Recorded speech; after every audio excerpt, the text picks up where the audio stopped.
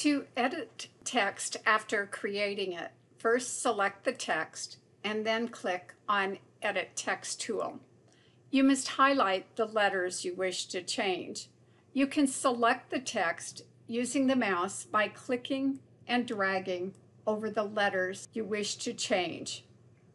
You can also use the arrow keys and click on the position where you would like to start editing. Hold the Shift key down to select one character at a time. If you hold the Shift key down, select a character and then hold the Control key down, the software will select one word at a time. Each time you press the arrow key, a word will be selected instead of a character.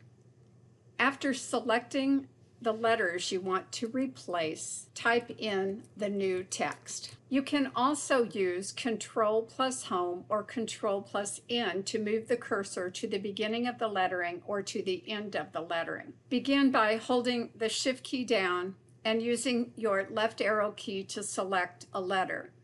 Then hold the Control key and select the Home key to select all the letters.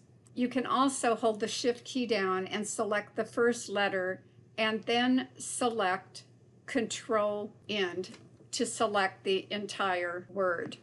You can now change the type of font by clicking on the drop down arrow and choosing a new font. You can also change the size of the lettering either through the up and down arrows or highlighting the value, entering a number, and pressing enter. You can change the letters to bold or also to italics. You can also select the lettering and use the control handles to visually change the lettering. You can rotate the lettering, you can change the width and the height or the percent of scale in tool options.